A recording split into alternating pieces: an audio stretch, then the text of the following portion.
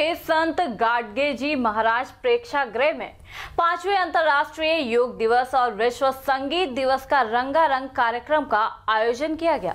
इस प्रोग्राम को और भी रंगीला बना दिया पद्मश्री, गज़ल और भजन के सम्राट अनूप जलोटा की आवाज़ ने।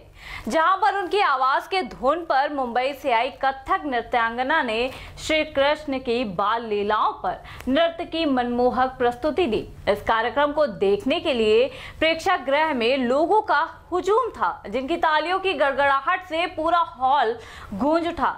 अनूप जलोटा ने ऐसी लागी लगन मीरा हो गई मगन संगीत से, वहाँ का समा बाँध दिया। आइए देखते हैं कुछ झलकियाँ।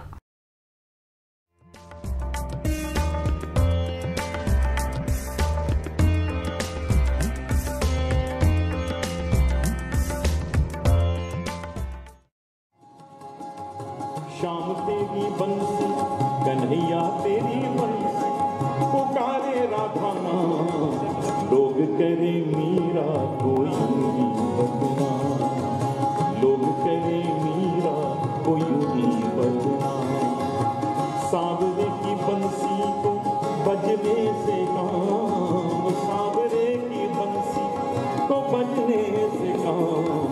राधा कभी शाम वो तो मीरा कभी शाम राधा कभी शाम तो मीरा कभी शाम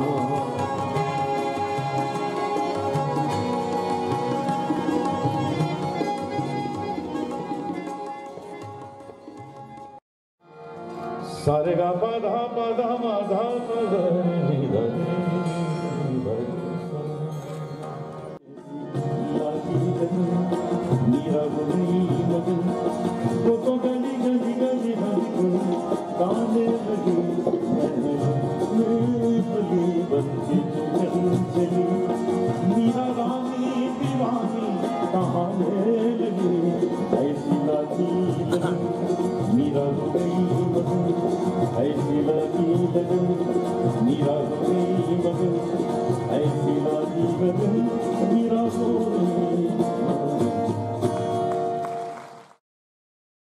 सुनाते हैं आपको। जग में सुंदर है दोनों चाहे कृष्ण कहो या राम बोलो राम। राम राम बोलो श्याम श्याम आज के लिए विशेष।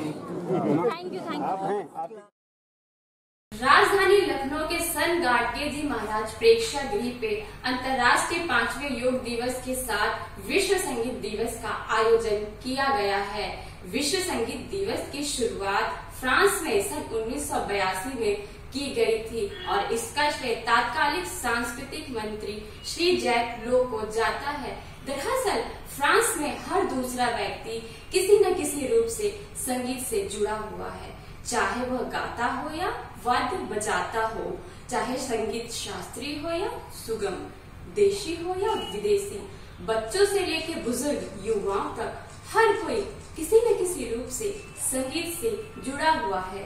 फ्रांस में लोगों की संगीत की प्रति इसी लोकप्रियता को देखते हुए 21 जून उन्नीस सौ बयासी को विश्व संगीत दिवस की घोषणा आधिकारिक रूप से कर दी गई थी और तभी से लेकर समूचे विश्व में विश्व संगीत दिवस मनाया जाने लगा। वीडियो जर्नलिस्ट नीरज यादव के साथ आशा गौतम प्राइम टीवी लखनऊ।